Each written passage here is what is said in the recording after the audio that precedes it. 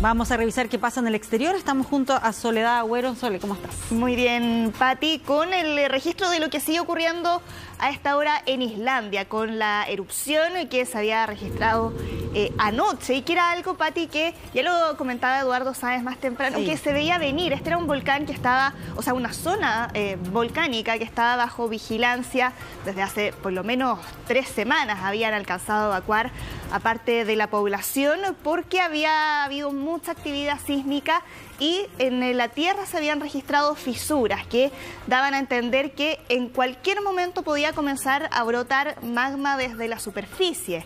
Hace pocos días, el domingo del fin de semana pasado, habían reabierto algunas de las atracciones turísticas que se habían cerrado por esto. La Laguna Azul, un eh, espacio termal, que es una de las postales más icónicas de eh, Islandia, había reabierto y ahora tuvo que cerrar nuevamente por esta emergencia. Aquí estamos hablando de una fisura de unos 3 kilómetros y aquí todos los que han estado monitoreando la actividad de este volcán concuerdan en que son afortunados en la ubicación en la que se produjo esta fisura, porque esto es al norte de la ciudad de Grindavik, que es la ciudad donde habían tenido que evacuar a parte de sus habitantes, y se da, por lo tanto, en una zona donde hasta el momento no implica ninguna amenaza para la vida ni tampoco para eh, la infraestructura. Lo bueno, de acuerdo a lo que tú relatas, es que acá hubo señales previas, eso permite tomar todas las medidas, que no haya ningún otro tipo de consecuencia. Ahora,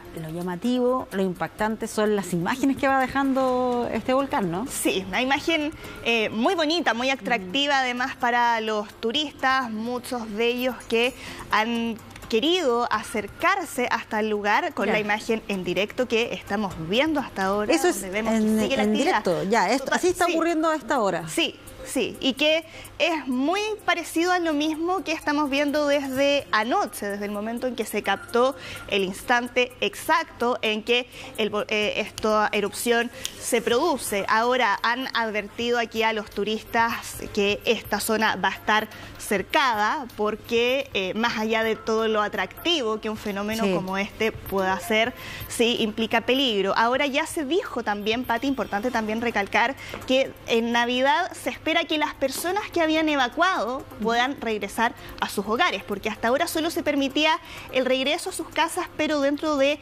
un lapso de tiempo, desde las 7 de la mañana hasta las 9 de la noche. No pueden pasar la noche ahí, pero esperan que eso ya sea posible a partir de Navidad.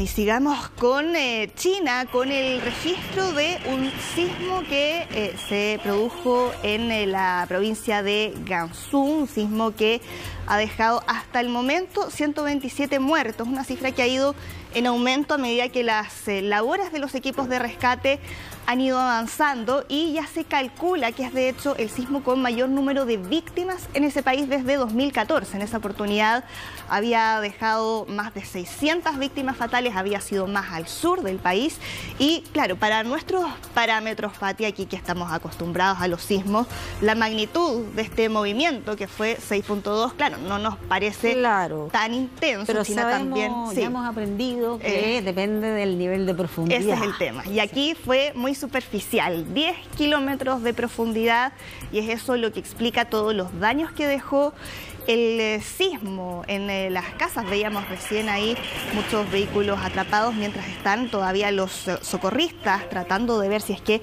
hay más sobrevivientes, pero todo ese trabajo ha sido muy difícil. Ustedes recordarán cómo la semana pasada la preocupación estaba en la ola polar que está afectando ahora a China cuando ya se están acercando al invierno y las condiciones climáticas con temperaturas bajo cero ha sido una dificultad adicional con la que se han encontrado ahora los equipos de rescate. Por eso el emplazamiento que hizo el presidente Xi Jinping a desplegar todos los recursos que sean necesarios para poder eh, ayudar a eh, poder despejar las zonas que se vieron afectadas por el sismo y también habrá ver si es que hay más sobrevivientes después de este eh, fuerte sismo que les contábamos recién. Bueno, y en eh, Buenos Aires, después de las eh, tormentas que dejaron 13 fallecidos durante el fin de semana, ahora la alerta se enfoca en los vientos que vienen del sudeste, de la llamada sudestada, y con las crecidas de el río de la Plata, con eh, niveles récord que se han alcanzado durante las eh, últimas horas con todos los efectos que esto implica, con eh, las calles, como estamos viendo ahí en las imágenes, muchas familias que tuvieron que evacuar por el riesgo de la subida del río y con varias zonas que están todavía en alerta. Aquí el nivel del agua llegó a más de 3 metros de altura, 3,62 concretamente, que es un registro que es el mayor de los últimos 10 años, ¿sí? Por eso aquí el llamado que se hace es a que la población evite aquí acercarse a todas las zonas cercas de la costanera y en el área metropolitana de Buenos Aires, que es la misma zona que todavía no eh, se ha podido eh, reconstruir algunas de las localidades que resultaron más dañadas por el temporal de la, del fin de semana pasado, con eh, la advertencia que se hizo de que las tareas de limpieza de todas esas zonas podrían tardar por lo menos, por lo menos una semana. Una semana. Y te iba a preguntar si es que hay alguna estimación, algún pronóstico, hasta cuándo se se va a mantener esta situación? Sí, hasta ahora ya está un poco más normalizado, pero con todos los operativos especiales que se siguen realizando todavía hasta ahora, sobre todo lo que tiene que ver aquí con el despeje de las eh, calles que todavía están con el nivel de agua muy alto. Dos de la tarde con 47 minutos. Yo sé, Sole, que tienes muchas otras informaciones internacionales que contarnos, pero vamos a una pausa y al regreso nos cuentas todo eso. Ya regresamos.